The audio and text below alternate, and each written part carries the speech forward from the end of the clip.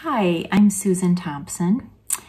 I was part of that first DNP cohort in the Integrative Health and Healing specialty, and I will forever be grateful that there was even such a thing as a specialty in integrative health and healing. When I first considered applying to the DNP program, I read through the various specialties and was elated, that's putting it mildly, to find a description of what I had been looking for. And then, after meeting my cohort and instructor, instructors, just finding my people. At that time, that was about 10 years ago, just over 10 years ago, because that was in 2009. The term integrative health wasn't even widely known. So I would get questions about my choice. So, what are you even going to do with that? What, what even is it?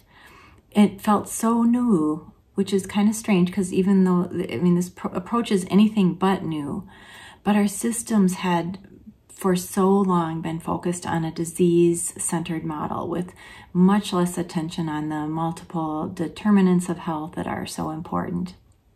So there was some anxiety about the future, but Mary Jo was our fearless leader and she is a true visionary and really able to see beyond the obstacles of today into a more empowered future and one that just embodies that more whole systems, whole um, person approach.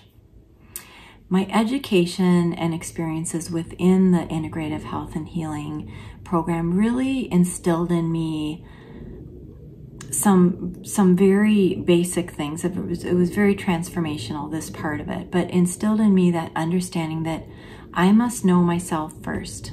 Be, that's my values, my beliefs, and formula for life balance before I can effectively enhance or guide others toward optimal healing. And, and even it, in that, sustaining my own sense of purpose and fulfillment. I know there were many behind the scenes people from the center helping to seamlessly create these experiences for students and um, continue to do so. I am so grateful for the transformational learning environment that the center offers through their courses and just through their philosophy.